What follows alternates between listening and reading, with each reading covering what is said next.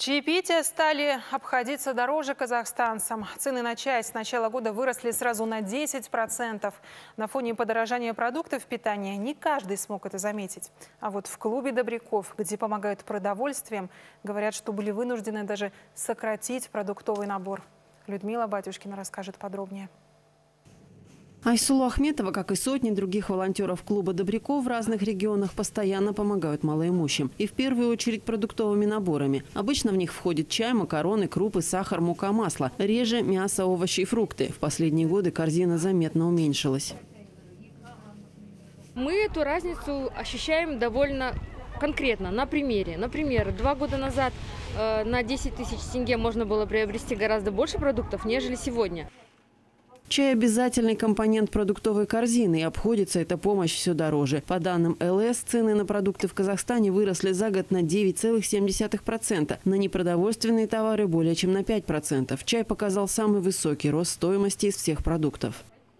Казахстанцы – одни из самых больших любителей чая в мире. В год в среднем один житель страны потребляет почти полтора килограмма чая, примерно 6 кружек в день. В целом казахстанцы выпивают в год 24 тонны чая. Дороже всего он обходится жителям Алматы, Караганды и Костаная. С начала года, по данным Энергипром КЗ, бодрящий напиток подорожал на 10% и настолько же упало его производство в нашей стране.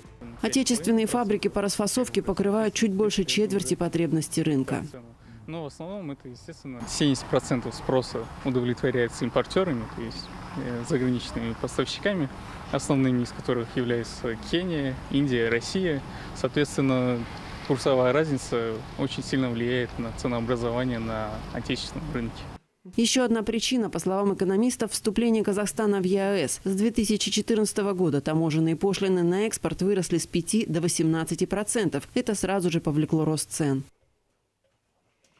только национальное производство, только активное участие в международном разделении труда является основанием для того, чтобы э, снижать, э, значит, э, вот этот инфляционный напор. И закупаем импорт за рубежом, мы вместе с этим закупаем мировую инфляцию.